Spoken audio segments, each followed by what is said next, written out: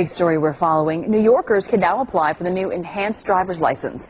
News 4's Melissa Holmes is live at the Peace Bridge with the latest. Melissa? Well, Lisa, they've only been available for a couple of hours, but already more than 100 New Yorkers have applied for the new enhanced driver's license. Officials say that they'll make crossing borders like here at the Peace Bridge safer and faster. Now, starting June 2009, federal law will require you to either have the enhanced driver's license or a passport to enter into the U.S. from Canada, the Caribbean, or Bermuda. Now, the new enhanced driver's license has a special radio frequency chip inside that will make it faster at the border crossings.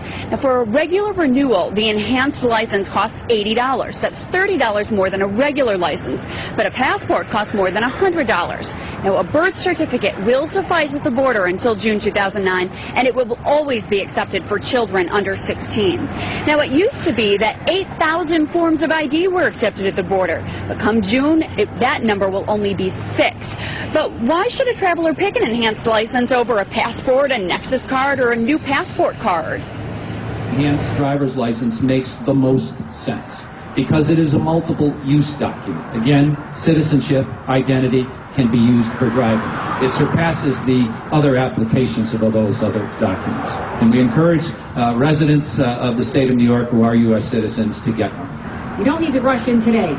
Yes, it's an exciting day. It's September 16th, probably the first on your block to have one. I understand that. But you really don't need it until June of 2009.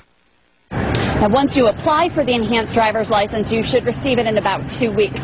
Now, when you go to the DMV to apply, you'll need to bring several forms of documentation, and so you're asked to go to the DMV's website or the Erie County Clerk's website to check out what those documents are. It'll make your time at the DMV a lot easier.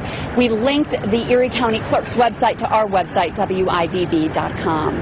Reporting live at the Peace Bridge, Melissa Holmes, News 4 at noon. All right, thanks for the update on that, Melissa. Now, if you still have questions about these new licenses, we'll help you get them answered. Erie County Clerk Kathy Hochul will be on WIVB.com tonight live from 5 to 6.15 to answer all of your questions, so log on.